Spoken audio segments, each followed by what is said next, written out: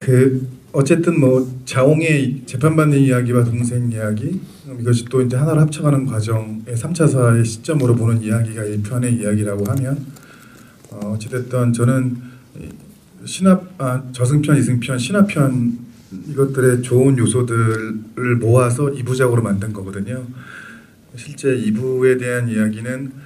어, 너무 없어도 일부의 완결성 때문에 보시진 않으실 것 같고 그렇다고 하면 어느 정도의 어, 정보량을 누서, 어, 깔아야 2부에 이, 아, 이런 얘기를 하려고 해 라고 했을 때 조금 덜 의심하시고 보실 것 같아서 어, 제작사 대표님들과 PD들과 많이 논의 끝에 편집자와 논의 끝에 이 정도 장면 정도가 들어가면 이분은 차사 3차사들의 천년 전 과거가 과연 어땠는지 그리고 수홍이 재판을 어떻게 받아나갈 수 있는지 등등 그리고 이승에서의 성주심과의 이야기